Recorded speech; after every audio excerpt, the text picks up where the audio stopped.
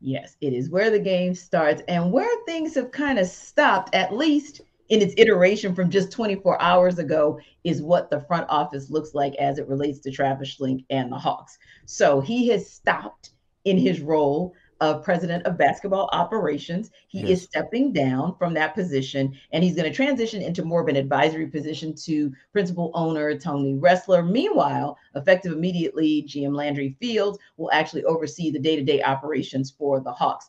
Now, Jarvis, this kind of sent a little bit of shockwaves locally, if you will. And I think it's one of those things where we're like, huh, what? We, we didn't kind of see it coming. And don't get us wrong. Travis Schlenk is still remaining with the organization. And in fact, he actually made a statement earlier today, and I'll quote that. Tony and I have had mutual, multiple, honest conversations about some of the personal things I've been going through. I appreciate the counsel he has provided me, as well as the opportunity he gave me to be first time GM six seasons ago. The timing feels right for me to take a step back and prioritize my family. That was Travis's statement. But my question is when we look at this in its totality, is there more to this than what Schlenk said? It has to be, right? Because just think about what what, what had happened with this organization within the past few years. You you fire a coach midseason, yep. that coach that steps into that role then mm-hmm. takes that team to the Eastern Conference Finals.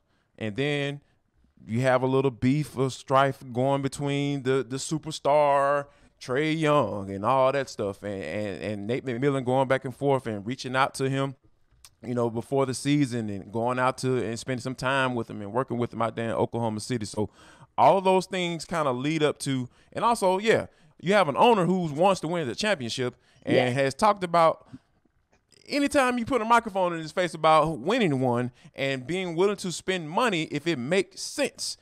you know, with that caveat, if it makes sense, if it's going to lead us to a championship, yeah, I'm willing to spend it to the luxury tax. And I think mm-hmm. that you know people looked at the certain moves that Schlenk had made by obviously trading away Kevin Huerter.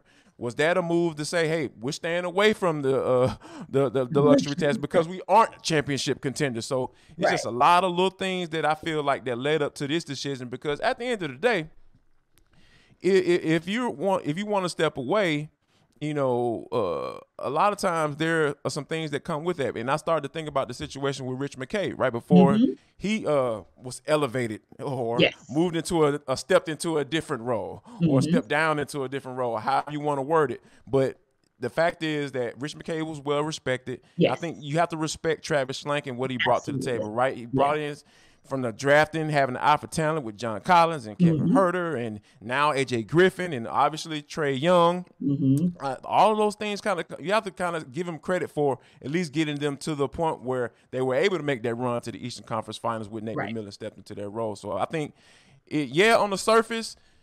He's stepping down, and obviously some personal reasons. I get mm-hmm. that part, but I think it has a lot has to do with moving into the next phase of this championship chase. I guess. Yeah. I guess I can I put it like that.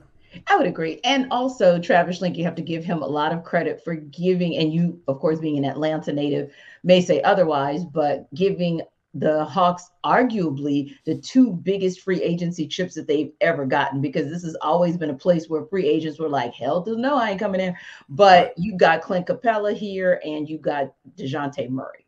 And I do think that they wanted to come here, you know, exactly. Yeah, and that yeah. was something to where you know they it wasn't a forced trade or some like three way trade where you just lucked up on uh, CC or DJ. That those were choices that they made. So mm-hmm. got to give Travis Schlenk some credit. And I know Trae Young being here is part of it, but I mean he drafted him for all intents and purposes. So mm-hmm. Travis Schlenk gets the credit for making this a place, a destination, right? I don't think, and the, here's the good news. I like the analogy and the comparison to Rich McKay because when Rich McKay shifted into a different role, it was not a negative situation. Rich McKay remains with the Falcons. He also remains a foremost authority, very well respected in the league. He sits on their major committees, rules committee. Okay. So he still has a lot of respect within the Falcons organization, within the NFL overall. I think it's going to be similar for Travis Schlenk, right? Now, that mm-hmm. doesn't mean the tea leaves don't say at the end of the season he might not part ways and become a GM for another team. But what I am saying is, I don't feel like if he becomes a GM for the team, another team is going to be like the 30th team in the league. Right? right? I still think he'll have a good enough rep- reputation such that if he ends up parting ways, he'll bounce back somewhere else. But again, it wasn't one of those statements where we we found out they mutually decided to part ways. That wasn't what was stated he's still within the organization. So there's still a lot of respect and appreciation for what he brings to the table. I'm just kind of interested to see. I feel like, however, while I don't think it's a big deal, I don't think it's salacious or it's going to be scandalous. I think there is going to be a layer there that maybe we kind of don't know about yet. And I think that that layer could be a Nate McMillan. Now, Nate was asked this question, and funny thing is, I thought about it. I asked Nate a similar question a couple years ago when he was brought on board officially as the head coach, just in terms of him being old school player, old school coach, dealing with a lot of new schoolers. But the question was also posed to him yesterday, and he had a very interesting response. I'm coaching in a different generation of players that I play with. Uh, I kind of coached, and it's different uh, the way you communicate uh, the way the game is played, um, and how they see the game. You know, they, they, they see the game different than uh, when I played it and when I started coaching it.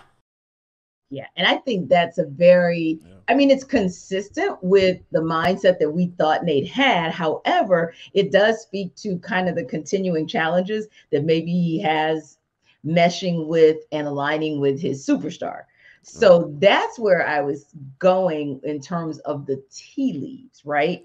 Because when you think about where the trickle down effect might be, i.e., Tony Ressler looking across his entire organization in his front office, on the court, on the sidelines, is this something where maybe Nate's on a little bit more of a hot seat that's going to get hotter and hotter if once he gets all five of his starters back? and he's got his true sixth man in Bogdan Bogdanovich, things don't get better. Like, is this also a little bit of tea leaf reading that we have to do for what happens with Coach Nate? Uh, yes.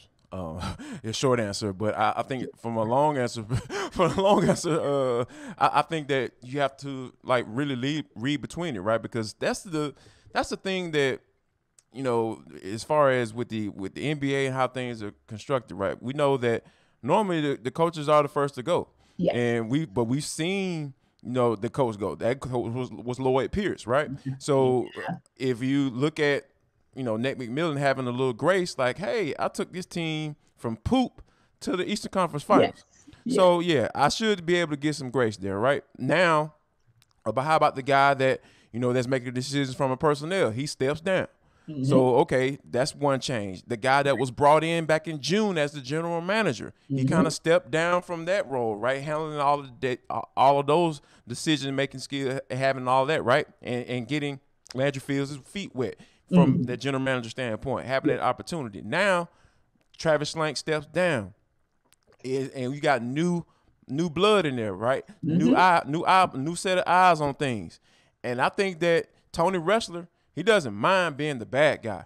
Right. He strikes me as a guy with a lot of money and saying, you know what? I don't mind telling people, hey, it's time for you to go. We appreciate yeah. your service and you're going about your business. And I think that Nate needs to be very careful about being this interest like looking within because when you look within that means you're looking back on things and and saying like uh, uh is something about to go down now because that's the kind of way he sounded he's just talking about the different generations and yeah. being being that guy that's you know things are just different and mm-hmm. and, and, it, it just makes it seems like he's struggling to make that adjustment right yeah. just from the way from the sound of it right mm-hmm. i know he's he's done the, the right things to try to you know make a relationship better with Trae because I think that at the end of the day, this is what it all boils down to. Oh, God. That's the relationship yeah. that matters.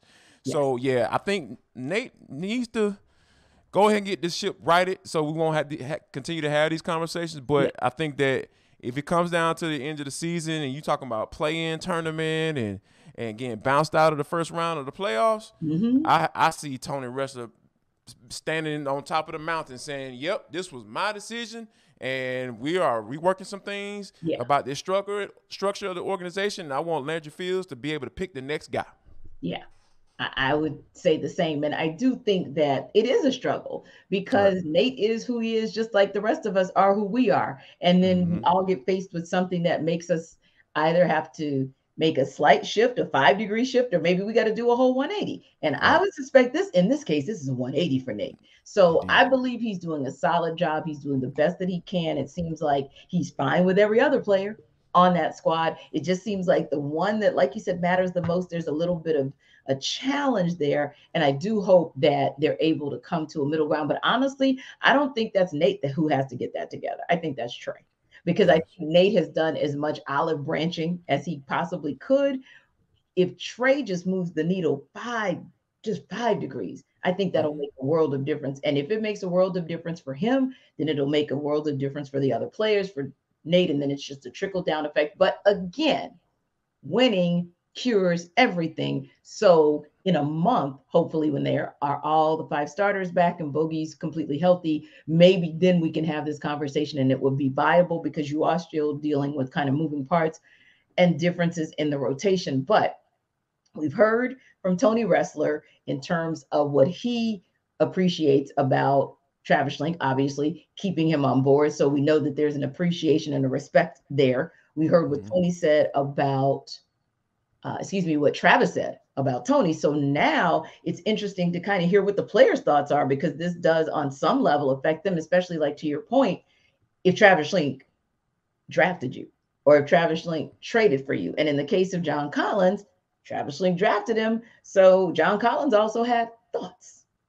And, and I think the main thought for me that I, that I feel that with with Collins and that kind of stood out, not necessarily what he said, mm-hmm. T, but it was just the tone, sure. right? The tone of it, and he was talking about as if you know Travis Schlenk had died, like you know, yeah. it was like it was just kind of like, so what are your thoughts on on Travis Schlenk, And yeah, you know, it was great. I remember when he was over there sitting there, over there right there in the old building and and he was just having those conversations with and I was just like, man, the dude is still alive. He's still around. He's still breathing.